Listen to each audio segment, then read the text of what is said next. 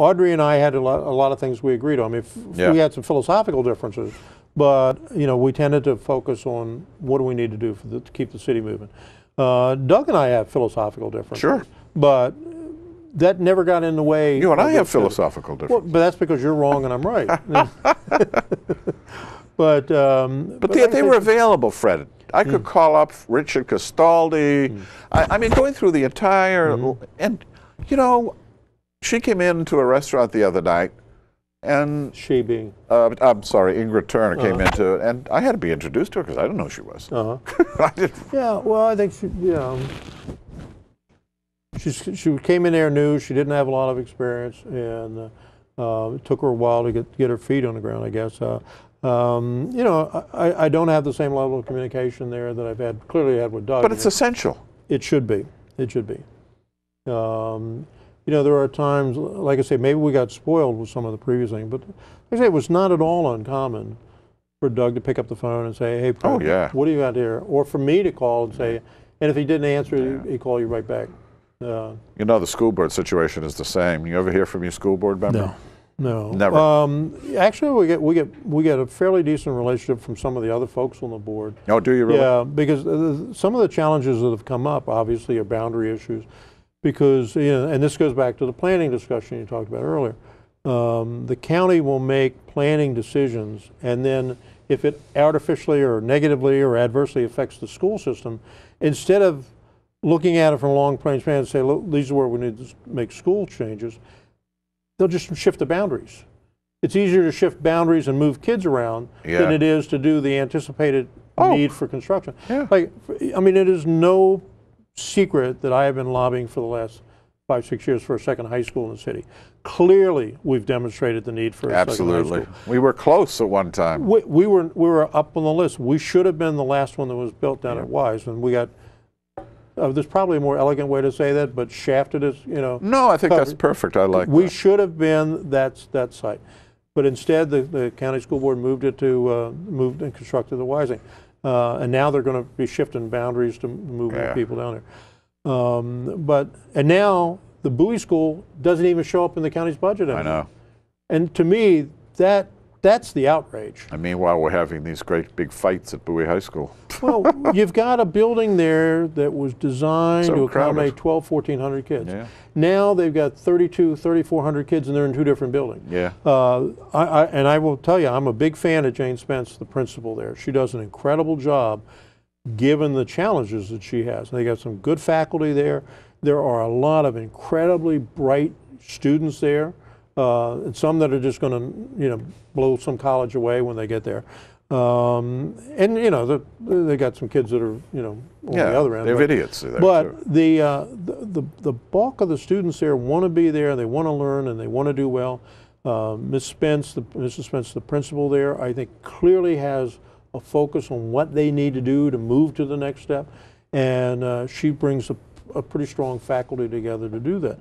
Uh, but when you have a student population in a building designed for 12 or 1400, I know. it's got 1,200 more than that. And they tell me now that that is the largest school population, school high school population in the state. Is that right? Yeah. Um, and so what we have suggested That's time just a- and that's time trouble. again It's is the cit- inevitably. the county owns this site down Mitchellville Road. It's like 40 acres. Yeah. We don't need another mega high school. No. We what would be nice is a strong academic high school Yeah. that would accommodate maybe you know 1,000, 12, 1,400 Right. students. Take the burden off of the existing Bowie High School. Have the two high schools complement each other. Uh, have them both Mm. focused on getting kids in, providing the opportunities for them, and, and then moving them along. Sounds good, Fred, though, but, But also I can't. thinking. we, I, I can't. We can't do that on our own here. No, you can't. That is clearly a function of the county and the state, and clearly it, it has not obviously been the priority of the, No. the county for the long for a long time. no. And uh, that I don't think much in Bowie just- is a priority except gathering our taxes yeah. and spending them on, on non-essentials.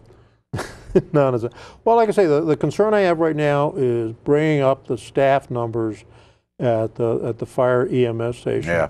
Um, I've had the opportunity to sit down and talk to a lot of our own volunteer folks who are very very bright and dedicated, and to talk to the to the um, uh, the paid staff, the the, the, uh, uh, county folks. Uh, They have they have convinced me now that the current county approach of assigning staff based on the facility as opposed to the apparatus in that facility Yeah. is what, what hurts. Right now, the county assigns four, four firefighters slash EMTs to a building.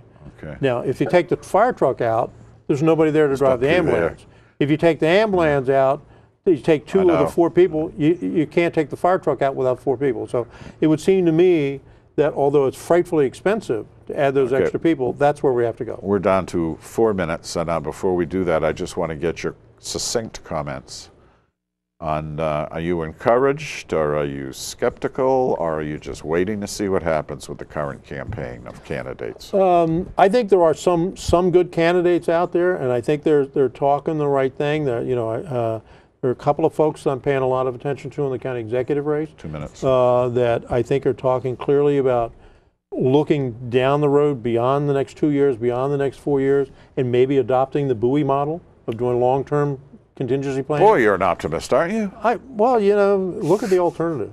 Um, you know, I, I told somebody one of my favorite quotes is one I just recently saw that Einstein said that there are only two things infinite in this in this world. One is the universe, and the other is the capacity for human stupidity. I like that one. That's that's excellent.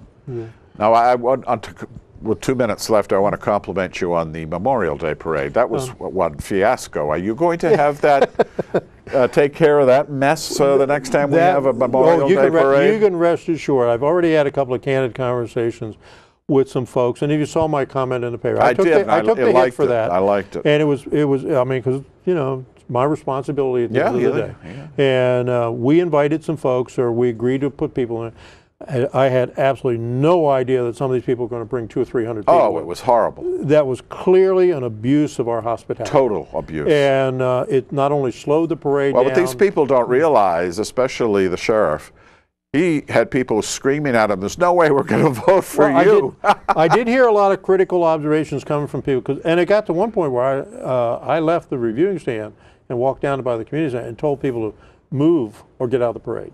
Good for and you. uh, Good for I you. mean, it got to Here's so- Steny Hoyer, one of the most powerful politicians in the country. showed up with, with a, with a An aide and a- slash security guy Yeah, and, and a- two or three people from yeah. walk the entire parade. And he was 64th Yeah. in placement.